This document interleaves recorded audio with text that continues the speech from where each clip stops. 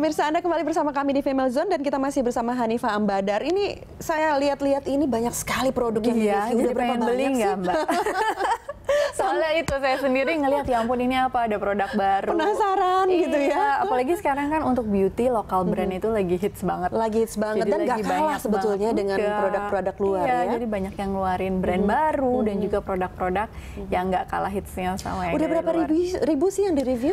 Produknya ya. Jadi jumlah reviewnya sendiri tuh udah ada eh, lebih dari 150 ribu review. Jadi itu 150.000. honest review dari member-member yang memang udah pernah Jadi antar anggota saja ya, tersebut. bukan Iya. editorial ya? Bukan, bukan eh, pure. Jadi memang reviewnya ada yang bilang itu bagus, ada yang bilang itu jelek sesuai dengan pengalamannya masing-masing. Kita sama sekali nggak nggak apa ya nggak cuma munculin yang bagus-bagus aja misalnya enggak.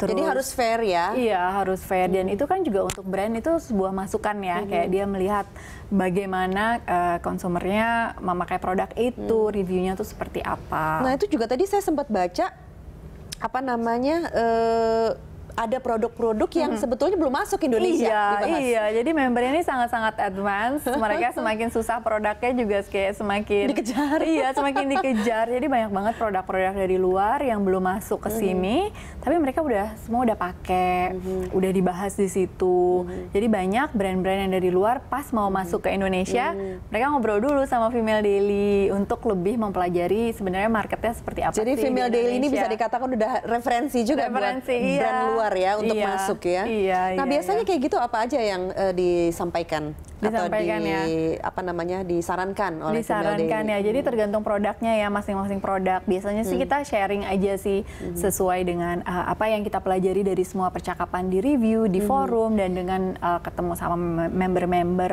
Female Daily juga punya data banyak kan. Jadi tahu oh uh, misalnya lipstick tuh harga berapa sih yang paling banyak dibeli? Yang warna apa?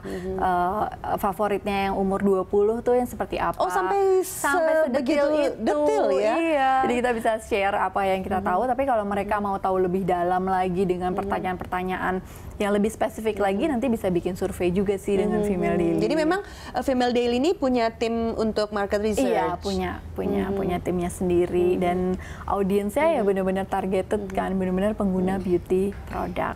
Hani dari sekian banyak dan segala jenis macam produk yang di-review itu ada nggak yang tidak boleh di-review?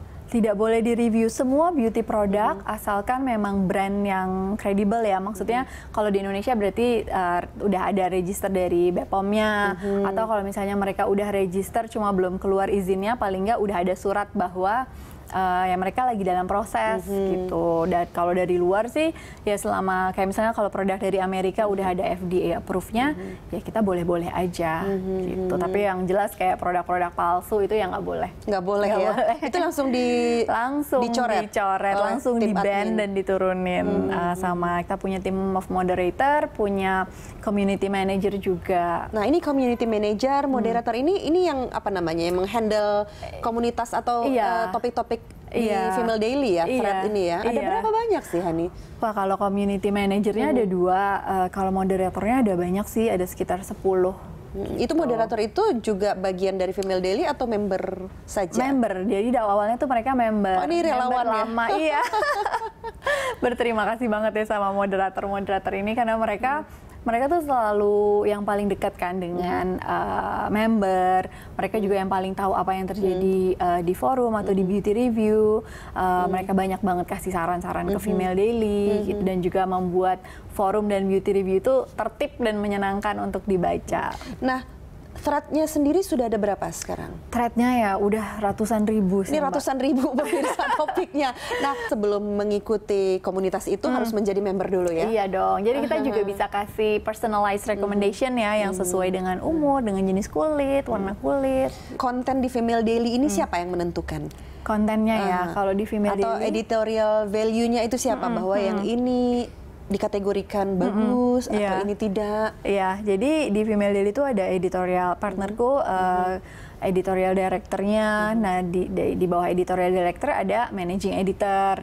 Di bawahnya managing editor ada editor-editornya lagi gitu, eh, khusus untuk Female Daily dan juga Mamis Daily. Oh iya, ada juga Mamis Ada Daily ya. juga Ini Mamis Mamis Daily. Daily khusus untuk urusan uh, parenting ya. Parenting sih, ha, tentang si ibunya sendiri si ibu itu sebagai uh, istri, sebagai ya sebagai ibu, sebagai profesional juga.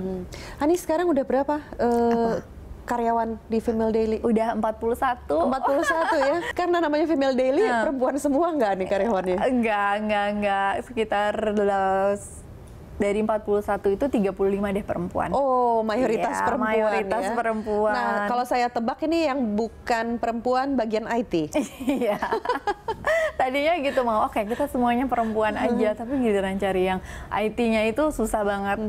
Cari yang laki-laki pun susah gitu Masih sebenarnya. susah. heeh. Ini mungkin Jadi, juga apalagi jadi apa namanya spesifik. tantangan dan peluang ya.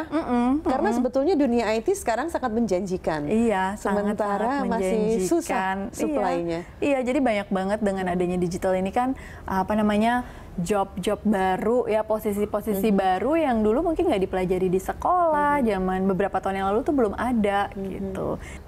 Hani, kita break dulu. Kita akan lanjutkan perbincangan sesaat lagi. Pemirsa, jangan ke mana-mana. Female Zone akan segera kembali.